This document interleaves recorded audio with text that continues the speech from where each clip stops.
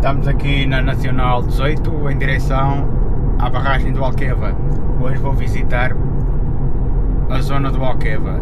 Vou visitar algumas zonas aqui da bacia hidrográfica do Alqueva. O Alqueva é o maior lago artificial da Europa e é uma fonte de energia hidroelétrica. Em conjugação com as energias renováveis, produzem muita energia.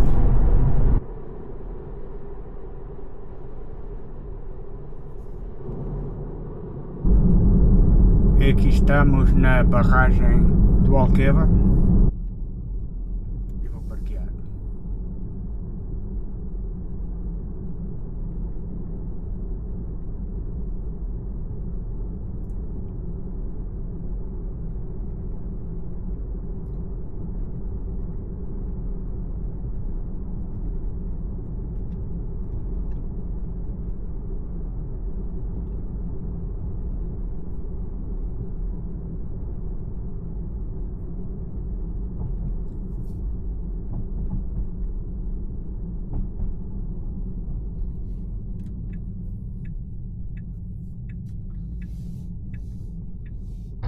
E temos o maior lago artificial da Europa.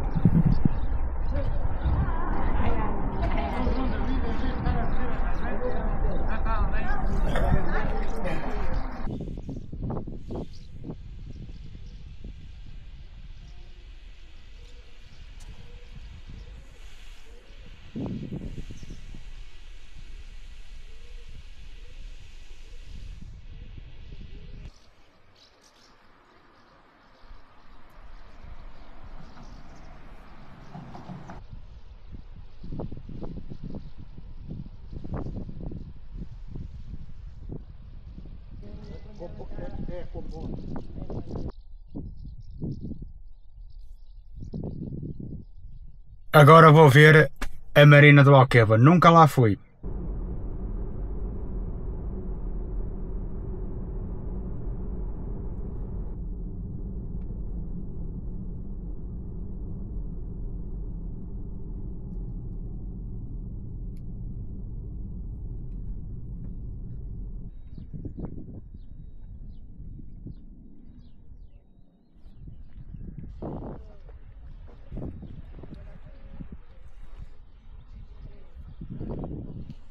Estou aqui neste cais à espera do barco que me vai dar a dar uma volta aqui pelo Alqueva durante uma hora.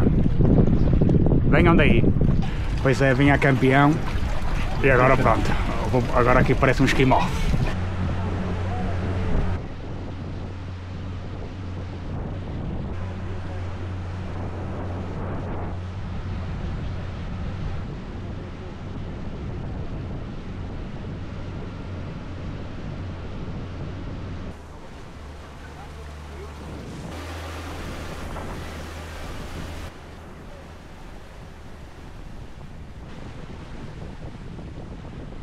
Em casa, ali a escola, ali a taberna, não. Até que era antigo da luz. Da luz e portanto, tenho que adaptar a minha vida aos Aqui deve ser baixo, estão estão ali umas plantas.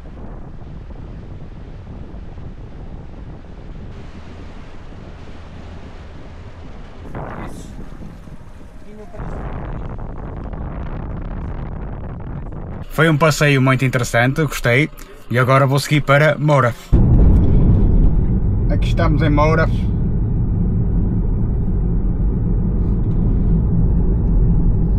Estou aqui no restaurante Moinho. Vou mostrar o que é que vou comer. Vou comer borrega assado. Vamos a isto. Epá, comi mesmo bem. Gostei desse almoço. O borrego estava bom. Agora Vou seguir em direção ao castelo. Vamos dar a fazer aqui uma curta visita aqui a Moura.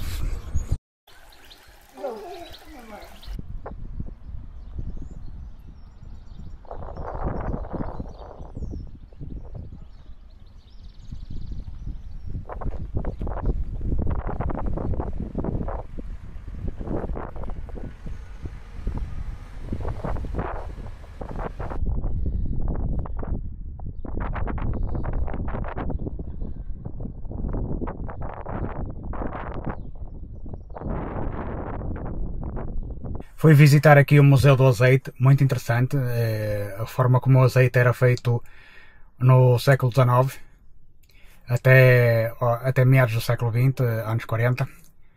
É um museu que vale a pena visitar e, e também a simpatia da senhora que me teve a explicar todo o processo. Agora vou seguir para a Aldeia da Luz.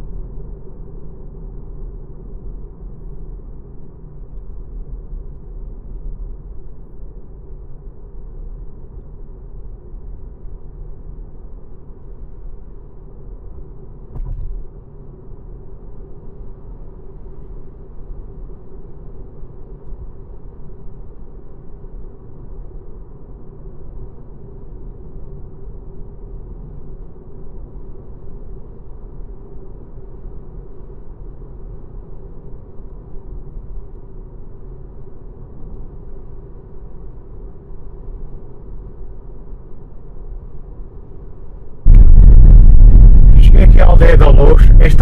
Tem uma história extraordinária porque foi uma aldeia completamente reconstruída e relocalizada. Ou seja, é, quando construíram a barragem do Alqueva foi necessário fazer várias expropriações e nomeadamente deslocalizar uma aldeia inteira. Então o que é que fizeram? Pedra a pedra, casa a casa, mesmo no próprio cemitério, retiraram os mortos e trasladaram-nos eh, para 3 km, onde estou exatamente, onde eu estou exatamente. Portanto, toda esta aldeia que vocês veem aqui foi exatamente reconstruída como estava 3, 3 km daqui, porque a, o antigo local da aldeia ficou completamente submerso pelas águas do Alqueva mesmo havendo vizinhos que não se davam bem, tiveram que uh, viver, uh, uh, tiveram que continuar a ser vizinhos nas novas casas. Portanto, tudo que vocês veem aqui estava exatamente igual a 3 km daqui. Portanto, é uma história realmente extraordinária que eu ouvi esta manhã no passeio de barco que fiz no Alquebas.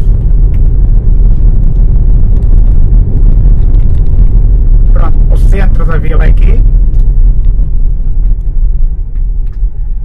Vamos só dar aqui uma curtinha volta.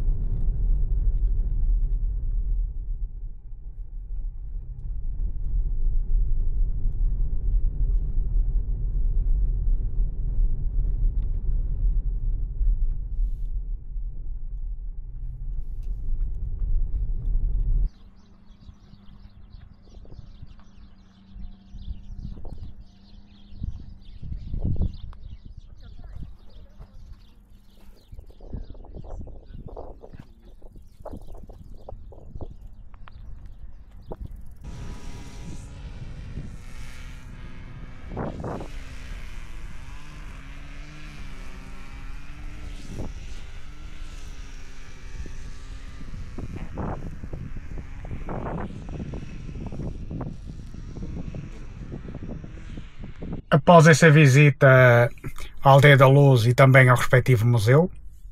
Tem uma maquete muito gira da Aldeia da Luz, da Nova. Vou seguir agora para Mourão. E aqui temos Mourão,